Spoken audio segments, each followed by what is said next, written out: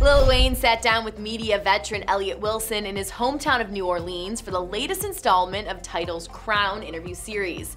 In the interview, Weezy answered some hard-hitting questions about his heavily anticipated album, The Carter 5, including the reason why Drake was left off of it, chalking it up to clearance issues. He has a song that didn't get cleared, man. Y'all got Ah. clearances, man.